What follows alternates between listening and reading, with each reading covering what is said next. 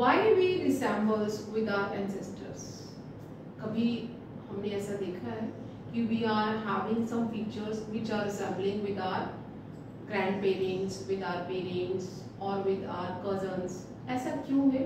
हमारे कुछ फीचर्स या हमारी बॉडी या हमारे कुछ आईज uh, या ईयर्स या नोज़ हमारे एंसेस्टर से मैच करते हैं। Then what it is it is called heredity where we resembles with our ancestors and the biomolecules which are responsible for this genetic uh, transference or genetic material transference is nucleic acid.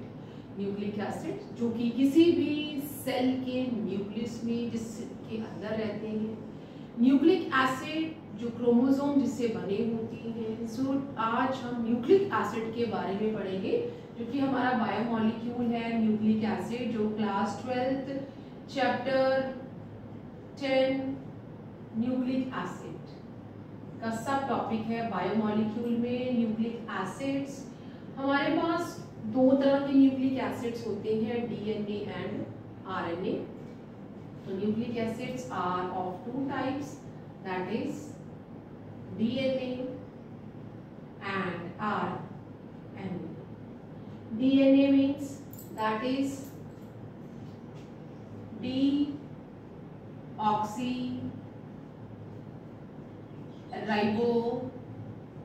deoxyribonucleic acid जो हमारा RNA है।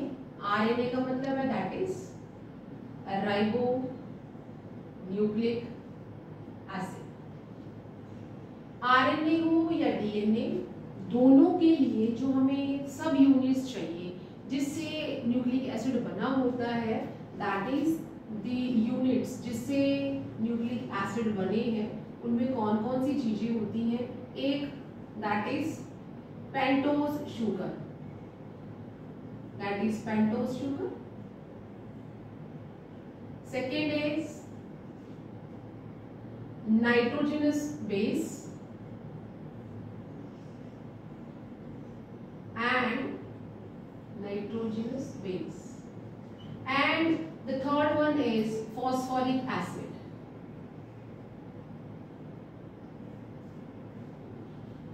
Phosphoric acid. So uh, these are the three units or parts of a, can DNA और RNA जिनसे पहले nucleotide बनेगा, और जब nucleotide आपस में कंबाइंड होंगे by phosphodiester linkage to we will get RNA और डीएनए बट जो बेसिक मटेरियल है for nucleotide that is the pentose sugar RNA के केस में ये जो शुगर है, वो कौन सी शुगर हो जाएगी? That is ribose sugar DNA के केस में that is deoxyribo sugar nitrogenous base अगर हम यहाँ देखें डीएनए की लिए कौन सी शुगर है? दैट इज़ डी ऑक्सी और कौन से पोजीशन पे ऑक्सीजन नहीं है सेकंड पे? तो हम इसे कहते हैं two deoxyribose sugar in case of DNA और आरएनए की कौन केस में कौन सी शुगर है? That is ribose sugar that is ribose sugar ये आरएनए के केस में है और ये डीएनए के केस में है. अगर हमें इनके स्ट्रक्चर बनाए then how we will get the structure हमने यहाँ पे ऑक्सीजन ये पेंटोज शुगर है तो इस तरह से आपने दो वी बनाने हैं जो दोनों एक दूसरे को फेस कर रहे हैं. देन वी विल ज्वाइन हम इन्हें ज्वाइन कर देंगे. हर एक ज्वाइंट पे हम इस तरह से एक बार बाहर निकालेंगे। एंड इससे हम लोग क्या कहते हैं? That is alpha D ribose तो ये अगर राइबोस है तो अल्फ़ा है, इसका मतलब फ़र्स्ट पोजीशन पे जो OH है that is towards the left side और यहाँ पे हाइड्रोजन होगा। सेकंड पोजीशन पे OH थर्ड पोजीशन पे OH इस तरह से हमारा राइट साइड पे है और हाइड्रोजन जो है वो राइट साइड पे है। और फोर्थ कार्बन पे हमारे पास एक तरफ़ CH2OH लगा हुआ है। तो ये ribose alpha D ribose sugar है, जो कि आरएनए में प्रेजेंट है। और अगर हम डीएनए की बात करें तो इस तरह से अगेन हम एक ऑक्सीजन के साथ दो फेसिंग टुवर्ड्स करते हुए ऑक्सीजन वी बनाएँगे। और आपने इस तरह से हर एक जो जॉइंट है, वहाँ पे से बाहर बाहर निकालना है। ये भी क्या है? That is alpha two deoxy और अल्फ़ा अल्फ़ा हम डी लिखेंगे दैट फिर हम इसको लिखते हैं that is alpha D two deoxyribose तो ये डीएनए के केस में प्रेजेंट है ये आरएनए के केस में। तो यहाँ पे भी अल्फ़ा है तो मतलब ओ OH जो है, वो लेफ़्ट साइड पे है। टू डीऑक्सी सेकेंड पोजिशन पे ऑक्सीजन है ही नहीं। तो हम दोनों साइड पे एच और एच और थर्ड में हम ओ OH इस तरह से बाहर और एच और जो फोर्थ कार्बन है, उस पर C H two O H group लगा हुआ है। तो ये जो शुगर है, ये डीएनए में है और ये वाली जो शुगर है दैट इज़ इन आरएनए ठीक है? तो ये दोनों में डिफरेंस है कि यहाँ पे सेकेंड पोजीशन पे ऑक्सीजन है ही नहीं। अगर हम अब इन शुगर के साथ नाइट्रोजनस बेस लगा लें तो भाई बेस भी जो है, वो दो तरह के होते हैं that is purine and pyrimidine. दो बेसिस है प्यूरिन जो है दैट इज़ प्यूरिन में दो कैटेगरीज आती हैं। First is adenine and second one is guanine pyrimidine में हमारे पास तीन है that is thiamine, then we are having cytosine and then we are having uracil और phosphoric acid, that is H3PO4 इसे हम इस तरह से रिप्रेजेंट कर सकते हैं, O and O O O. तो ये हमारी फॉस्फोरिक एसिड है। ये बेसिक हमारे जो सब यूनिट्स हैं, जिससे एक न्यूक्लियोटाइड बनती है। और जब ये न्यूक्लियोटाइड आपस में ज्वाइन करेंगे, तब हमें डीएनए या आरएनए मिलेगा आप पहले इसे नोट कर लें ताकि हम फर्दर आगे चलें। इसका स्क्रीनशॉट ले लें। ओके देन अब यहीं से हम कंटिन्यू करेंगे कि हमारे पास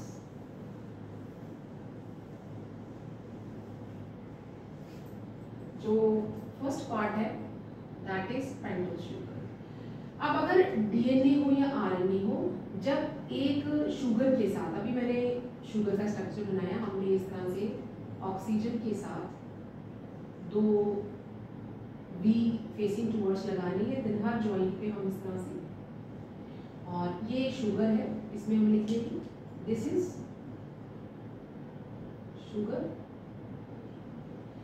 शुगर में टोटल फाइव कार्बन है और फोर रिंग के अंदर है तो ये जो शुगर के कार्बन है C one C two C three C four और यहाँ पे जो है सी फाइव और इसके साथ सी एच टू और यहाँ पे ओ एच ये फाइव कार्बन एटम्स नहीं है, उसका पोजीशन मैंने बताई जो बेस है, उसमें भी कार्बन होते हैं। In order to make a difference कि उस कार्बन और इस कार्बन में डिफरेंस के लिए हम इसके ऊपर इस तरह से एफोस्ट्रॉफी का साइन लगा देंगे। ये जो कार्बन है, ये शुगर के कार्बन है। फ़र्स्ट पोजीशन पे क्या अटैच होगा? शुगर के फ़र्स्ट पोजीशन पे क्या अटैच होगा? That is a nitrogenous base तो ये क्या लगाना है हमने यहाँ पे बेस जब शुगर और बेस आपस में ज्वाइन हो जाएँगे, इस कॉम्बिनेशन को हम लोग क्या कहते हैं? न्यूक्लियो साइड ठीक है? जब शुगर और बेस आपस में कंबाइन होते हैं नाइट्रोजनस बेस चाहे प्यूरिन हो, चाहे पिरिमिडन हो when they combine together we will see कि हमने क्या मिल गया है? न्यूक्लियोसाइड बेस जो है शुगर के फ़र्स्ट कार्बन पे लगता है। अब आप जो यहाँ पे फिफ्थ कार्बन है फिफ्थ कार्बन पे ये ओ OH हम इस तरह से यहाँ रिमूव कर देंगे, क्योंकि हमने किसको लेके आना है यहाँ पे? फॉस्फोरिक एसिड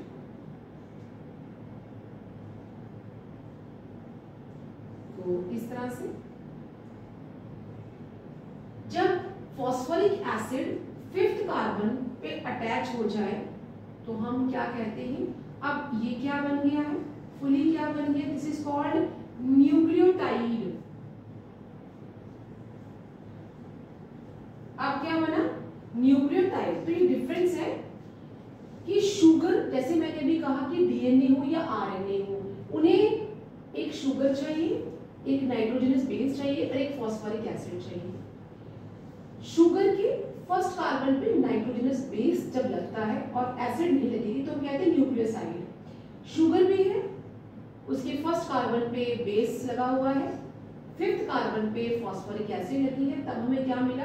न्यूक्लियोटाइड जब न्यूक्लियोटाइड आपस में ज्वाइन होते हैं then we are getting nucleic acid तो हम इस तरह से एक और बना लेंगे। यहाँ हमने लिख दिया दैट इज़ हम प्लस करने जा रहे हैं दैट इज़ हम दो न्यूक्लियोटाइड को भी प्लस करेंगे।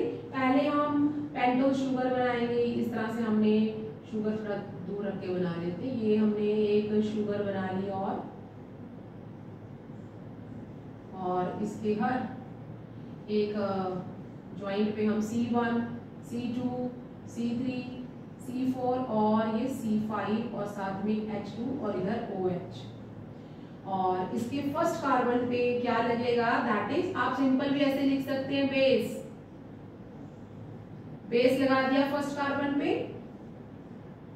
और फिफ्थ कार्बन से हम ओ एच इस तरह से रिमूव कर देंगे. एंड यहाँ हमने क्या लगाना है? दैट इज़ पी ओ और O and O negative and O negative ये मुझे एक और क्या मिल गया? न्यूक्लियोटाइड तो ये क्या बन गया शुगर तो ये भी न्यूक्लियोटाइड है, ये भी न्यूक्लियोटाइड है। जब मैं इन दोनों को आपस में ज्वाइन करूँगी बाय फॉस्फोडाइएस्टर लिंकेज तो हमें क्या मिलेगा? न्यूक्लिक एसिड तो ये दोनों कैसे ज्वाइन होंगे? ये जो फॉस्फोरिक एसिड है, ये दूसरे न्यूक्लियोटाइड के थर्ड कार्बन पे अटैच हो। क्लियर तो थर्ड कार्बन पे जब ये अटैच होगी तो हम इसको इस तरह से बना सकते हैं। इसे आपने देख लिया। दोनों को मैं ज्वाइन करने जा रही हूँ। यहाँ फर्दर बना लेते हैं। दैट इज़ अब हमने न्यूक्लिक एसिड बनानी है। यहाँ पे मैंने बना दी है एक शुगर शुगर के साथ लगा हुआ है ऊपर बेस इस तरफ़ लगा हुआ है फॉस्फोरिक एसिड और दूसरे, ये तो एक मेरा न्यूक्लियोटाइड है।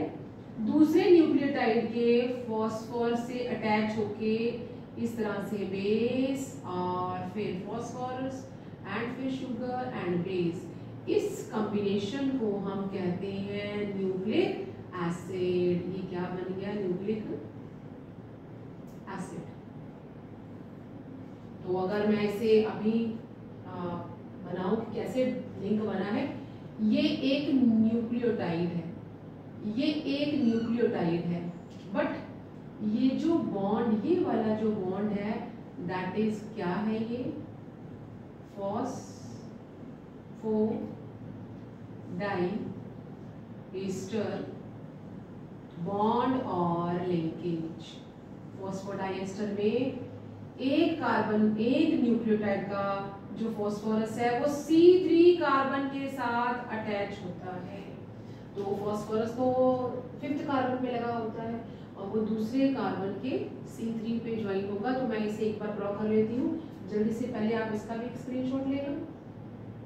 ओके तो लेट्स मैं इसी पे फर्दर यहीं पे कंटिन्यू कर दूँगी इसको।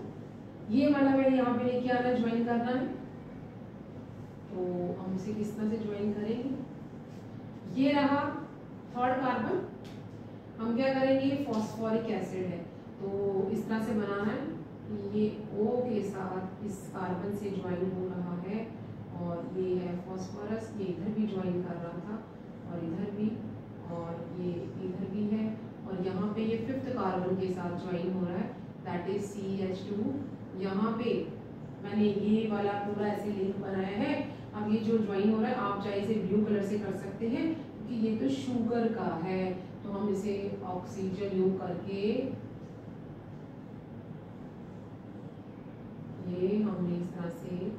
दूसरी जो मैंने यहाँ शुगर बनाई थी उसे एज ले आई और इसके फ़र्स्ट कार्बन पे क्या लगा है? बेस फ़र्स्ट कार्बन पे क्या लग गया है? बेस वो वाला कार्बन पूरा न्यूक्लियोटाइड ऐसे उठा दिया। ये क्या है? That is